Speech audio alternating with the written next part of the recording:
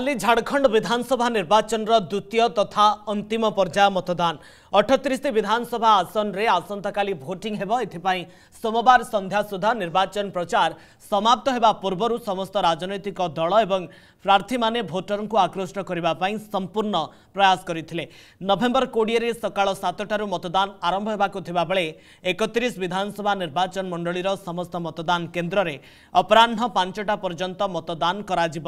ସାତଟି ବିଧାନସଭା ନିର୍ବାଚନ ମଣ୍ଡଳୀର କେବଳ ଏକତିରିଶଟି ମତଦାନ କେନ୍ଦ୍ରରେ ଅପରାହ୍ନ ଚାରିଟା ପର୍ଯ୍ୟନ୍ତ ଏବଂ ଅବଶିଷ୍ଟ ସମସ୍ତ ମତଦାନ କେନ୍ଦ୍ରରେ ଅପରାହ୍ନ ପାଞ୍ଚଟା ପର୍ଯ୍ୟନ୍ତ ଭୋଟ୍ ଗ୍ରହଣ କରାଯିବ ବର୍ତ୍ତମାନର ମୁଖ୍ୟମନ୍ତ୍ରୀ ଚାରିଜଣ ମନ୍ତ୍ରୀ ଏଗାର ଜଣ ପୂର୍ବତନ ମନ୍ତ୍ରୀଙ୍କ ସମେତ ପାଞ୍ଚଶହ ଅଠେଇଶ ପ୍ରାର୍ଥୀଙ୍କ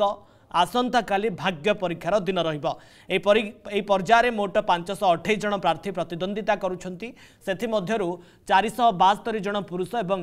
ପଞ୍ଚାବନ ଜଣ ମହିଳା ଓ ଜଣେ ଟ୍ରାନ୍ସଜେଣ୍ଡର ପ୍ରାର୍ଥୀ ରହିଛନ୍ତି